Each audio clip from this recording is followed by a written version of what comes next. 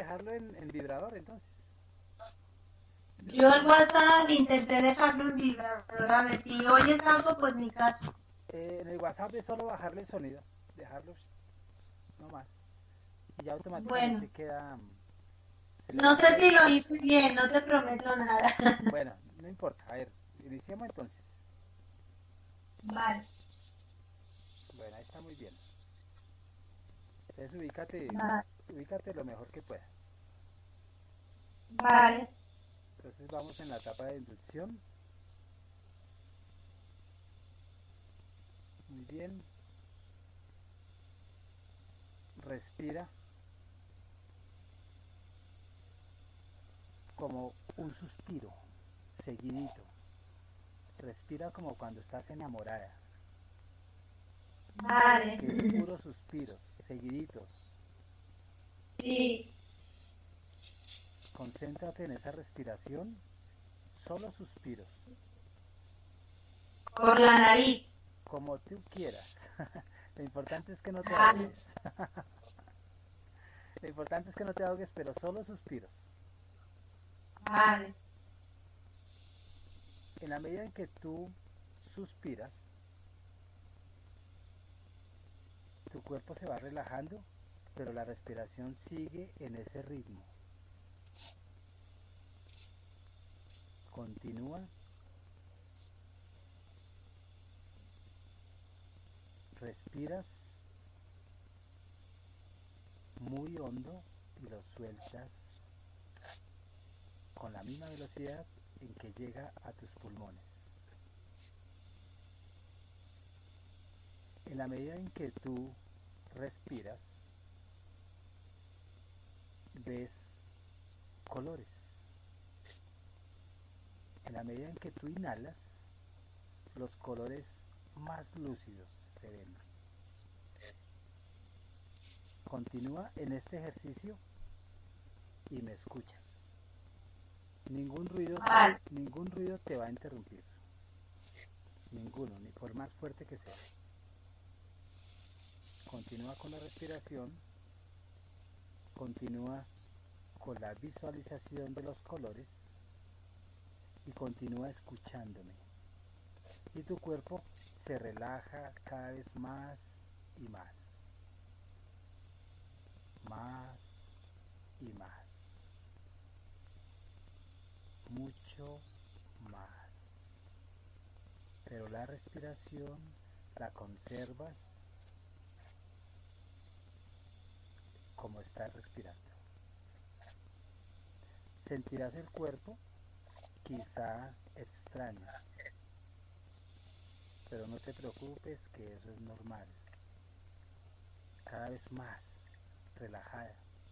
Voy a contar de 1 a 10 y al llegar a 10 tú entras en un sueño profundo pero me escuchas claramente.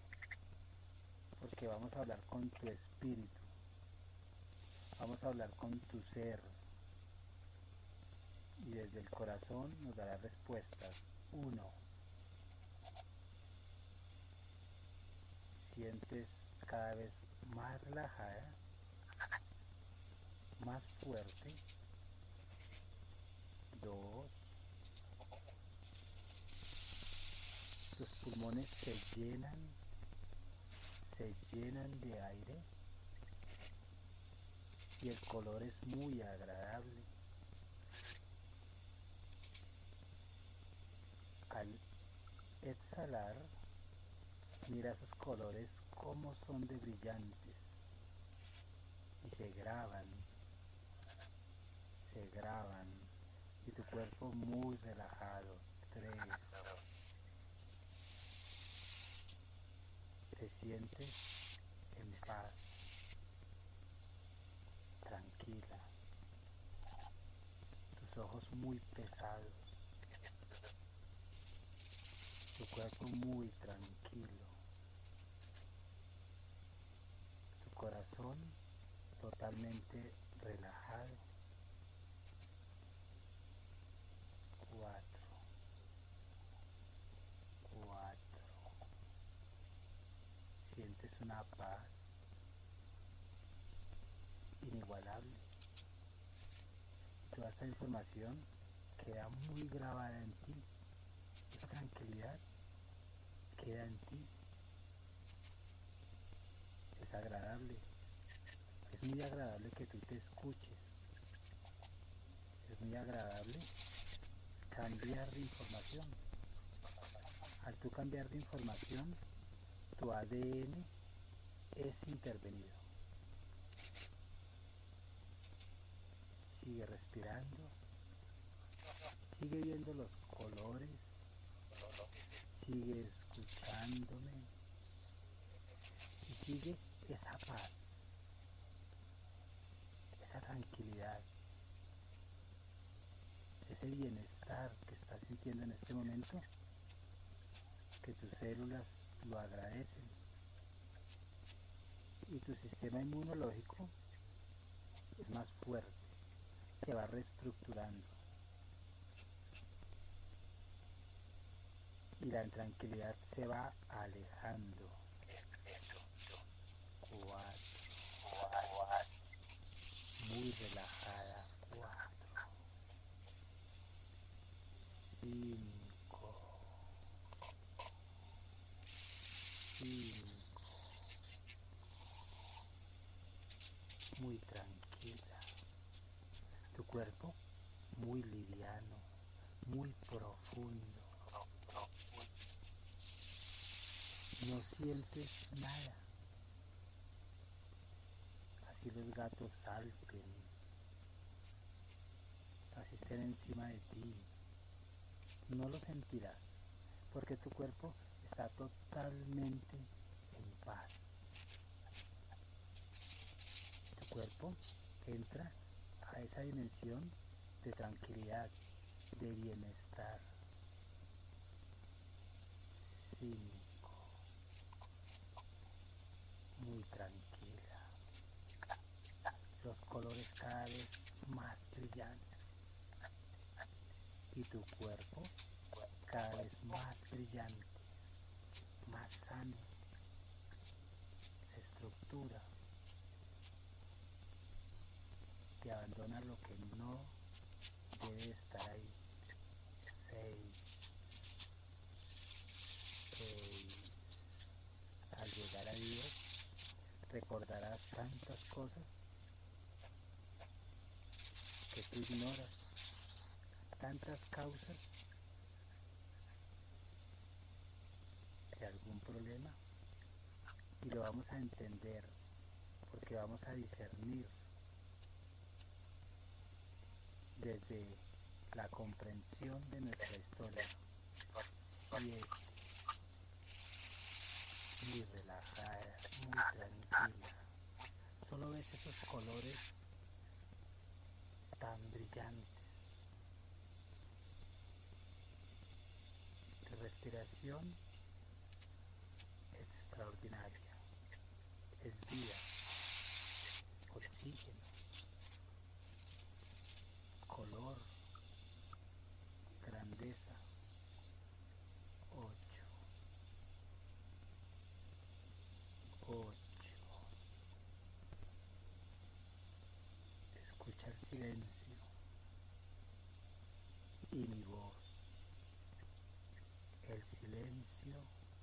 y vivos. Eso te lleva a una tranquilidad que tu inconsciente guarda este estado y te gusta. Y estés donde estés, así haya el ruido más grande, pues no te va a molestar. Porque tu interior está en paz. 9.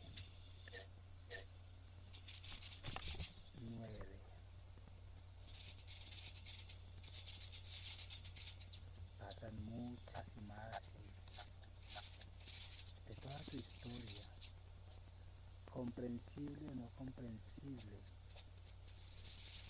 de esta vida o de otra. Y no vas a censurar lo que no conozcamos, porque son recuerdos que quizá están ahí. pasan todas las historias, diferentes formas, diferentes vidas, quizá en diferentes planetas has vivido. Desde ahí vamos a elaborar tu sanación desde esa historia.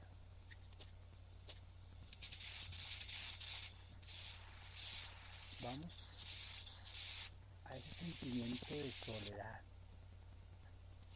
donde al llegar a 10 llegará la causa de ese sentimiento de soledad.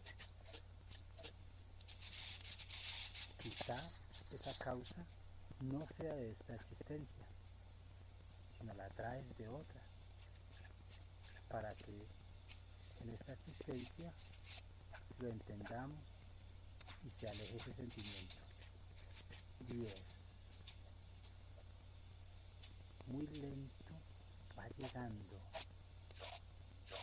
de dónde se origina esa causa, ese sentimiento de soledad, el original, el que necesitamos transmutar. Y todo tu cuerpo totalmente brillante, lleno de luz, de alegría y de paz. Dentro de una tres y ya viene la respuesta. ¿Dónde tiene esa causa, ese origen del sentimiento de soledad? Uno, dos, tres.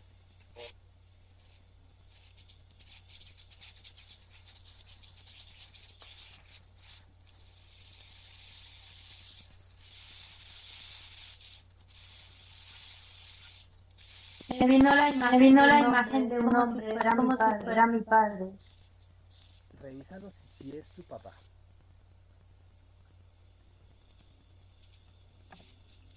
Míralo bien, así no se parezca, porque puede ser otra existencia. No, no, no, no, no lo conocí cuando era joven.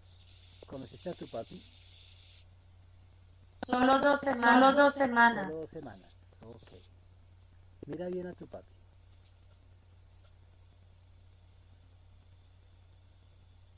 ¿Qué están haciendo? ¿Tú qué haces? ¿Cuánta, ¿Qué edad tienes?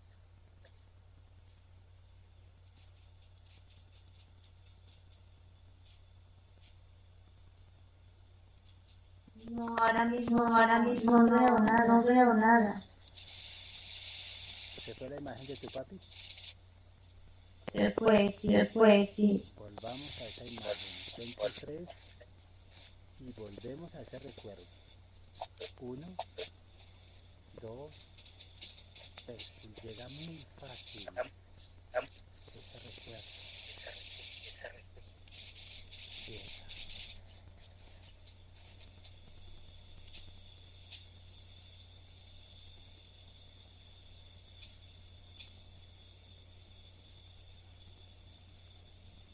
Es que no lo, es que no lo, lo siento, pero no lo veo muy nítido. O sea, lo, o sea, lo siento que siento que es por, por el lado de él, pero no, no lo veo ni no lo veo nítidamente en mi No mente. importa, posiblemente seas tú más kinestésica que visual. Siéntelo. Sentirlo sí, sentirlo sí que lo siento. Escucha. Escucha y siéntelo. Cuando tú lo conociste, cuando él se fue, ¿cuál fue tu sensación?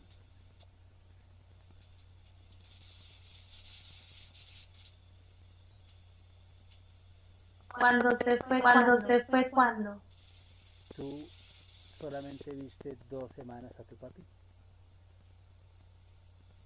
Solamente lo, solamente lo vi una vez, una vez en un bar, en un bar conocerme, para conocerme y mi madre no quería porque mi padre fue muy malo. Según ella fue, según ella fue muy malo y producto de una producto de una violación. Tú como niña extrañas a tu papá, sea el que haya sido.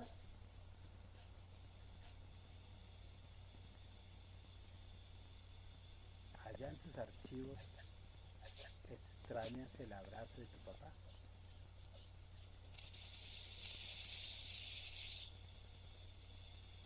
Sí, pero la sensación, sí, pero la sensación que me dejó en estos días no fue muy buena. ¿Qué te dejó? En el fondo, cuando, en el fondo, cuando estaba con la sentía que ocurría algo y tenía miedo y de hecho en esas, en esas dos semanas, en esas dos semanas salir me lo mataron. ¿Tú qué edad tenías? 14 años, 14 años. ¿Tú ya sabías que eras producto de una violación? No, no. Y todos los rumores, ¿tú qué opinabas de tu papá?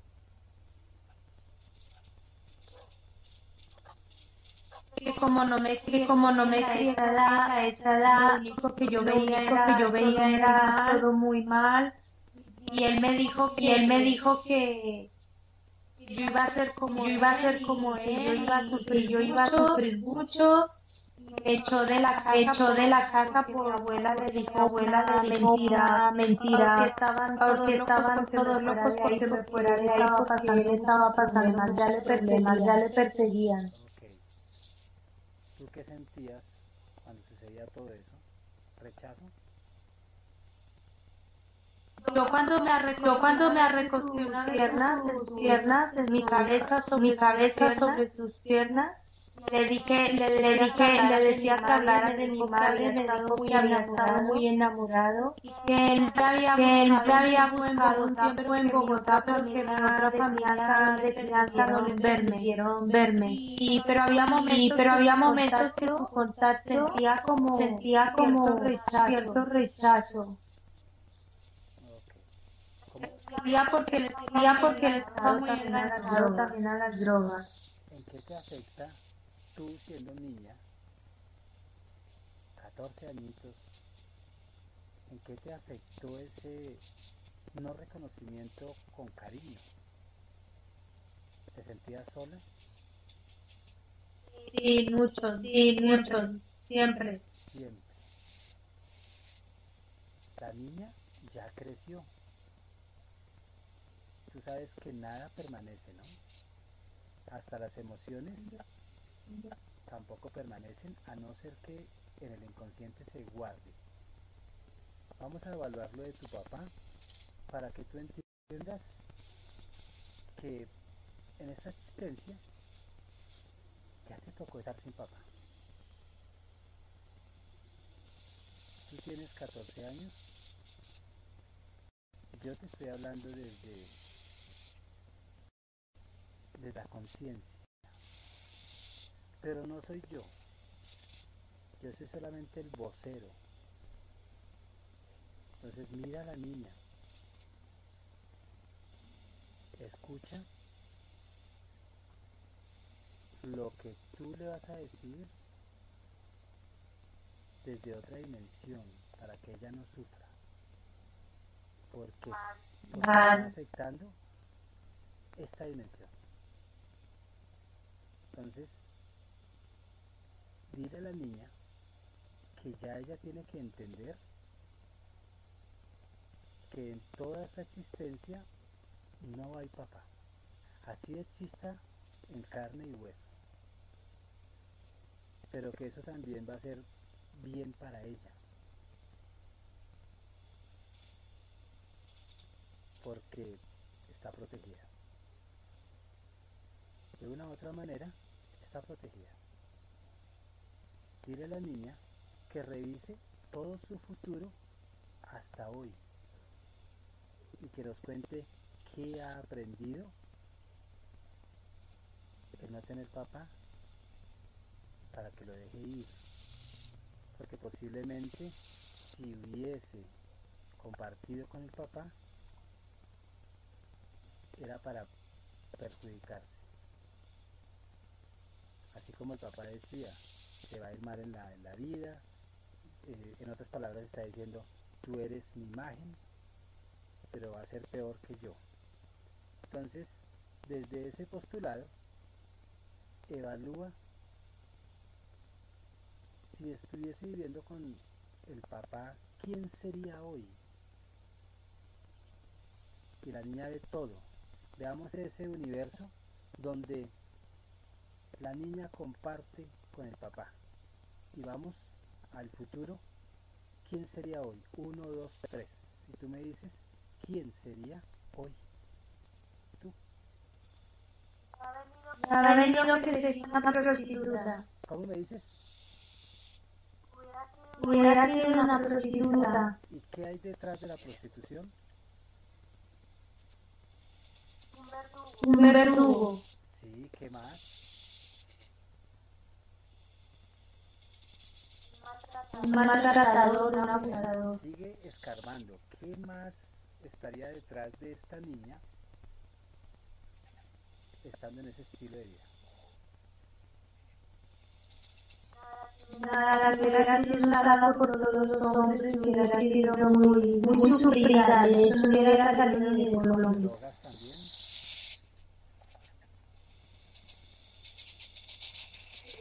Sí, probablemente sí también. todo lo que puede suceder en esa vida.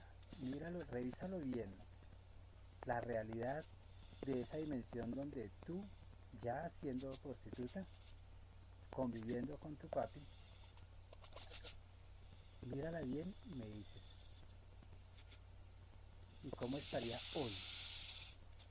¿En dónde estaría?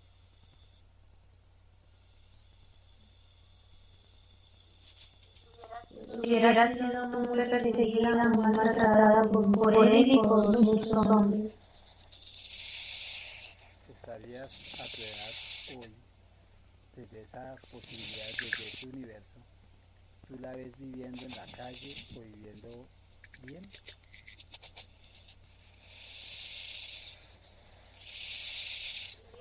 Viviendo bien, pero muy maltratada psicológicamente. Entonces, dile a la niña, dile que aprende en este momento que vio un futuro de otro universo, que allá está sucediendo eso, y que ella no escogió ese estilo de vida porque no le tocaba. ¿Qué aprende? ¿Qué aprende en cuanto a no estar con el papá? Sea, estás siendo mejor, pero ¿qué aprende?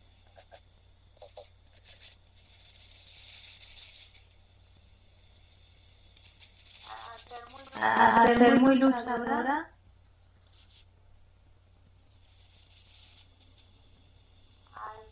a entender las debilidades de los ¿Qué hombres, a entender las debilidades de los hombres, tener compasión,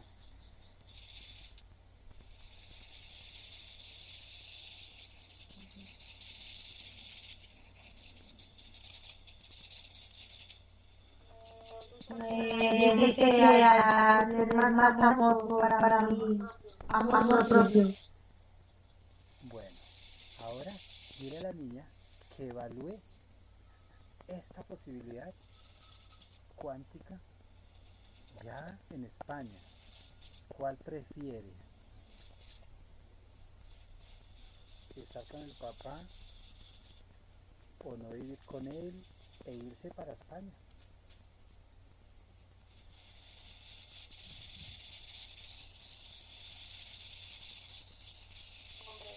Hombre, hombre, ir a, España, desde luego.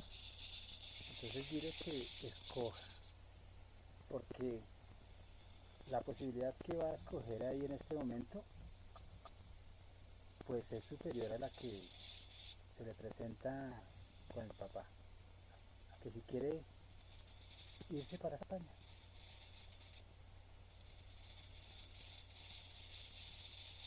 Y que vea todo el futuro, hasta hoy, para empezar también a, a corregir cosas para el, bien, para el bienestar.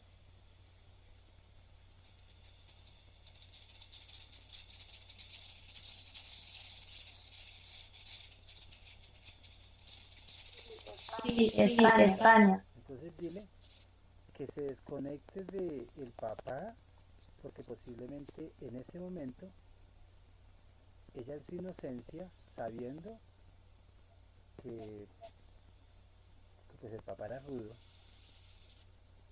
que se desconecte que no sienta rechazo ni soledad porque sí hizo falta el abrazo del papá pero era una mala opción porque el papá estaba muy contaminado. Entonces, dile que tiene todo el derecho de amar la esencia del papá. La esencia es que, pues que por lo menos tiene un espíritu y en su origen es bueno. Pero ya al estar en esta existencia, pues se hizo bárbaro, ¿no?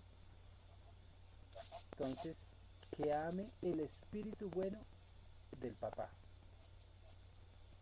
y que deje ir y que lo deje libre, mejor dicho. Que se llene de amor y que perdone al papá contaminado. Que lo perdone. Porque él quizá su niñez fue muy dura, pero no quiere decir que uno vaya a vivir con personas que no cambien, no, dejarlo de a libre y que no se sienta sola. ¿Por qué? Porque es un sentimiento simplemente. Es una sensación. Pero tú nunca estás sola. Nunca has estado sola. Y tú lo sabes. Aún nosotros nacimos para cuidarnos. No para que nos cuiden porque el día que no hay un bastón que nos cuide o que nos permita apoyo, entramos en crisis.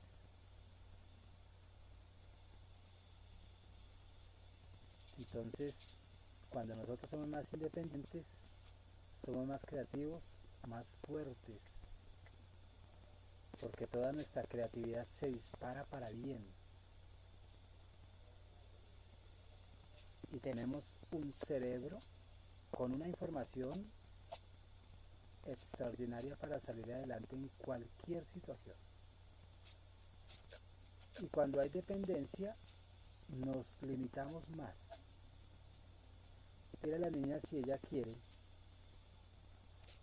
depender más o usar todos sus recursos para salir adelante, esté con alguien o esté sola, aunque la soledad no existe porque nunca estamos solos.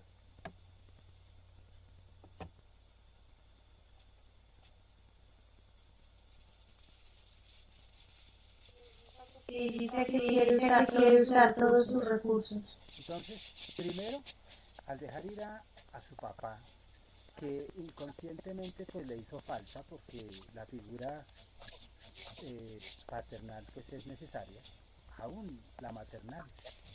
Las dos figuras son necesarias, pero no como necesidad,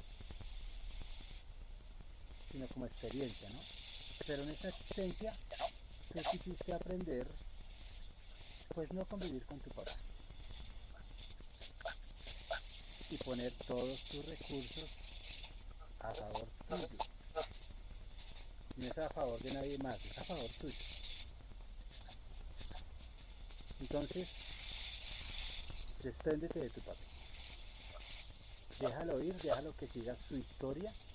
A él le corresponde seguir su proceso de crecimiento individual. Mientras no tenga conciencia, pues él sufrirá. Pero tú, como tienes conciencia, pues no vas a repetir nunca lo que tu papá te dijo, que te ibas a sufrir o te iba a ir mejor, eh, peor que él. Entonces, no creas eso, silencia esa palabra, esas palabras que él te dijo, que tú recuerdas, silencialas. Bajar el volumen cuando él te dijo eso. Y ahora solo escuchas diciendo a tu papi, hija mía, yo me he equivocado. Quizá no te quiera, pero no vas a repetir mi historia. Vas a hacer lo que yo nunca hice. Vas a ser próspera, feliz, nadie te perseguirá y serás también en conciencia que vivirás en bienestar y no sentirás mi soledad. No te sientes sola, porque esa soledad es la mía, como papá, pero no te corresponde a ti.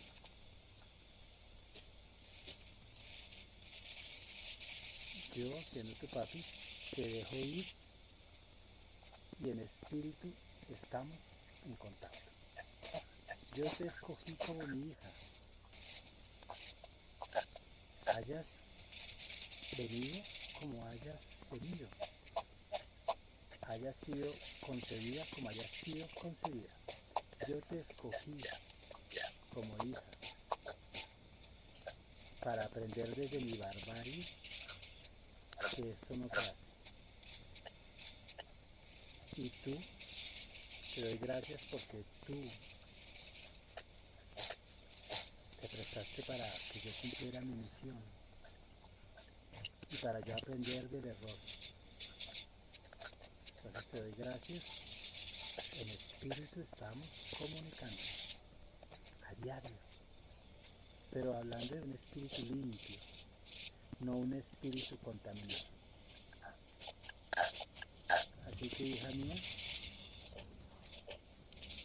entiende desde el espíritu toda tu existencia. Entiende desde el espíritu la barbarie en que nos ha tocado vivir. Pero como tú entiendes, tu vida va a ser más cómoda, más sabia, con mucho bienestar. En espíritu, papi, te abrazo, tú me abrazas y entendemos bien lo que nos ha sucedido. Entonces, chao, hija. Gracias, gracias. Estoy hablando a través de Juan Guillermo. Y no tengas miedo. Porque los miedos también eran míos, no son tuyos. Los miedos eran de tu mamá, no son tuyos.